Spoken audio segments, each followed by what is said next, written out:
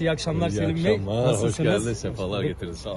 Çok şükür iyiyiz. Evet, e, Fatih tam gaz devam ediyor. Bugün Evet. de iftar yemeğinde Evet buluşuyoruz. evet Afiyet arkadaşlar olsun iyi diyelim. ki, iyi ki bir araya geldik. Çok büyük bir ekibiz biliyorsunuz. Ee, o yüzden birbirimizi göremiyoruz da. O Bir araya gelmemiz iyi oluyor. Ee, o yüzden iyi ki bir araya geldik. Evet şöyle arkama masalara baktığım zaman da Evet, inanılmaz doluyuz. büyük bir kadro görüyorum Tabii, çok, Bey. çok kalabalığız. Ee, iki ekibiz tabii. Ee, yani sanırım her bir ekipte 150 kişi falanız yani. Kalabalığız hakikaten yani. Bizim e, bir ekipte çalışıyoruz bazen ama bazen öbür ekibi unutuyoruz, özlüyoruz birbirimizi. Bir de yani çok iç içe, çok duygusal sahneler çekiyoruz. Biliyorsun sadece oyuncular arasında o duygusal bağ yoktur. Ee, kameraman da senin oyuncu arkadaşındır aynı zamanda. Çünkü o da seninle birlikte oynuyor. Ee, bir bütün ekiple böyle bir iki üç gün ara verdiğim zaman özlüyoruz birbirimizi. Bu da işin daha da güçlü olmasını sağlıyor aslında. Fakat tabii e, izlenme oranlarıyla sanki e, dizi çok yerini tutmamış gibi yorumlar da yapılabiliyor. Halbuki çok güçlü sahneler çekiyoruz. E, gerçekten e, ekip arkadaşlarımız da çok birbirine inanıyor ve çok güçlü sahneler çekiyoruz. İşte duyulabilir olmak başka bir şey. O yüzden siz de buradasınız. İyi ki geldiniz. E, yani e, buradaki bu ambiyansı, e, bu tandansı görmek güzel bir şey. E, o yüzden gönül ister ki yeni sezonda daha güçlü böyle bangır bangır kendimizi duyurarak girelim. İnşallah. Ee, o Ben de Serkan dahil Bey. Kameraları görünce kameralar çekiyor biliyorsunuz. Nasılsınız? Siz de hoş geldiniz diyelim. Siz de hoş geldiniz. Hoş Asıl bulduk. siz hoş geldiniz. Hoş bulduk. Şöyle arkama baktığımda çok büyük bir iftar yemeği gördüm. Evet. Az önce onu konuşuyorduk. Setin ne kadar büyük olduğunu, platonun büyüklüğünden. Kalabalık bir ekibiz değil mi? Evet, evet şahane bir plato var tabii. Burada yani e, sevgili sanatımız Doğan inanılmaz bir iş çıkartmış burada. Gerçekten büyüleniyorsunuz yani. O, o gerçek atmosferin içinde olup e, o dönemden kalan sahneleri, o dönemi andıracağımız anları çekmek çok m, gerçekten o ambiyansın içine girmeni sağlıyor hemen. O çok güzel bir Onların his. yaptığı Yani iş çok ciddi. Kostümümüzü giyip o mekana girdiğimiz zaman zaten öyle bir zaten hakikaten bir büyüleniyorsun. Hakikaten çok güzel bir iş çıkartıyor.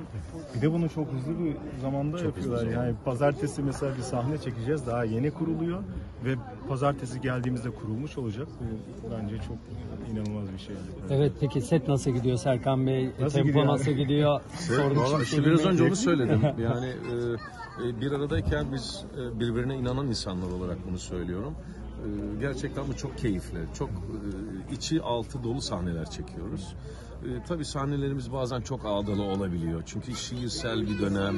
E, ne kadar gündelik bir duruma çeksen de o zaman da olmuyor biliyor musun? O yüzden o, o, o, o epik yapısını koruması gerekiyor. Şey önemli ya lafını böldüm. Burada bir oyuncular arası bir sinerji oluştuğu zaman zaten sahne e, asıl güzel oluyor, asıl keyifli oluyor. Bazen sahneye okuyoruz ve hani ya burada da çok fazla hani bu normal sıradan bir sahne derken bir anda başka bir şeye dönüşüyor. O da alışverişle falan oluyor. Yani çok değerli oyuncular var. Ben de Selim abiyle çalıştığım için Aa, çok ben de Seko. gerçekten. Evet, büyük sen- şans benim için. Benim için de öyle. Birbirimizden çok şey öğreniyoruz gerçekten. Bu, bu tarz işler bir üniversite gibi aslında. Ee, ne kadar çok şey öğreniyorsan e, seni biraz daha büyütüyor. Evet. Ee, birbirimizin bakış açılarında buluşuyoruz aslında. Biraz O yüzden- mütevazi konuşuyor tabii ama kendisi Yo, yo, bir hayır. usta aktör olduğu Yo, için. lütfen aşk olsun. bu, bu bir, hakikaten şu çok doğru bir şey. Ee, Ben Serkan'ın bakış açısında, kendi bakış açımla buluşuyorum. O da aynı şekilde. Ee, Deneyim başka bir şey. Ee, Deneyime her zaman açığız. Sürekli bir şey öğrenebiliyoruz. Serkan'dan da öğreniyorum ben yaptığı bir şeyden. O yüzden e, bunu kendinden vazgeçip burada olmak çok başka bir şey. Kesinlikle. Bu meslek onu gerektiriyor çünkü. Peki Serkan Bey hazırlık döneminizde biliyoruz çok ummalı çalışmalar vardı. Şimdi set nasıl gidiyor, çalışmalar nasıl gidiyor? Henüz İstanbul fethedilmedi. Merakla beklenen bir İstanbul Biz de fethi merak var. ediyoruz. Biz de merak Şimdi- ediyoruz öyle bir şey var. Hazırlık Önce- oraya doğru gidiyor. Evet önce bu sorulara cevap aldıktan sonra oraya da değineceğim Yani tekrar. Burada hazırlandık biz. Yani burada bayağı böyle kompakt bir şey kuruldu. Yani bir herhalde bir bir ayı geçti. Öyle bir Evet. süre hani hem işte kılıcı, aksiyonu vesaire atı biliyorsunuz zaten bunları konuştuk. E, güzel bir e, zaman geçirdikten sonra bir de ayrıyetten şey de çok e, güzel oluyor.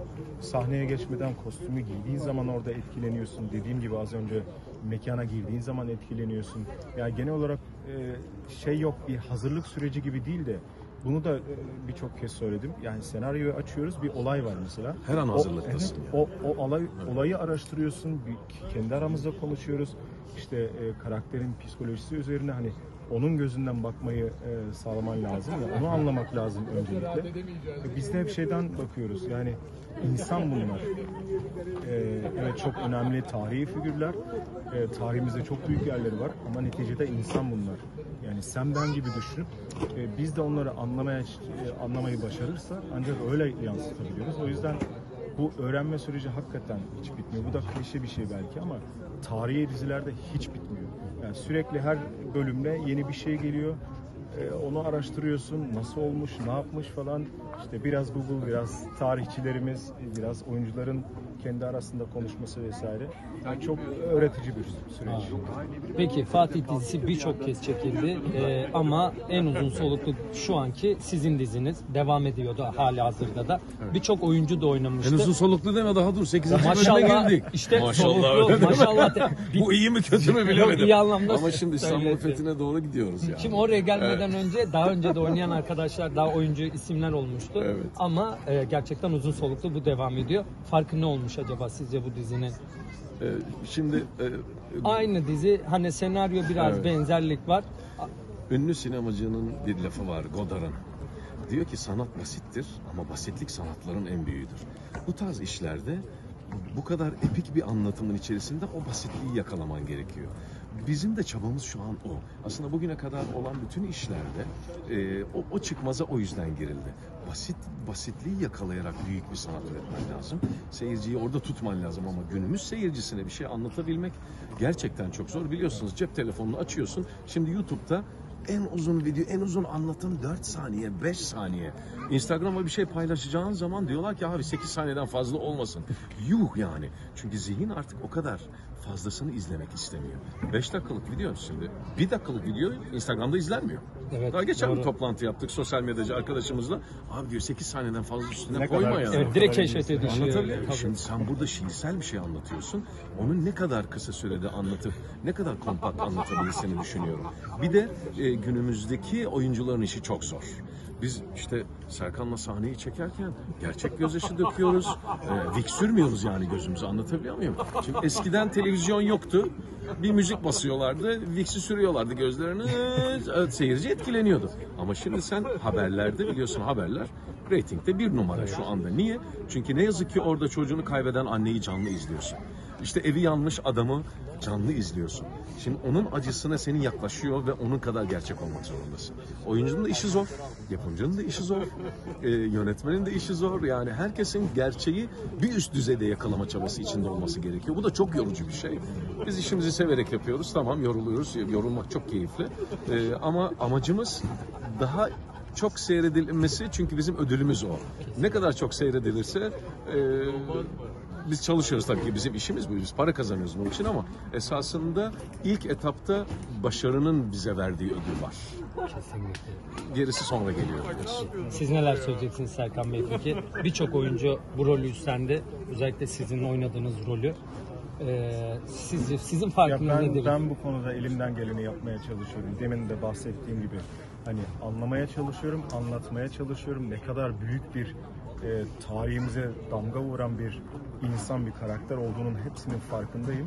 Ama Selim abinin de dediği gibi aslında her şeyi daha basite e, indirgeyip daha insani taraftan yaklaşmaya çalışıyorum. İnşallah da böyle güzel güzel karşılığını e, alacağım. Yani karşılığını bulmak güzel, yorumlar da çok güzel geliyor. E, bizi izleyen, seven herkese teşekkür ediyor.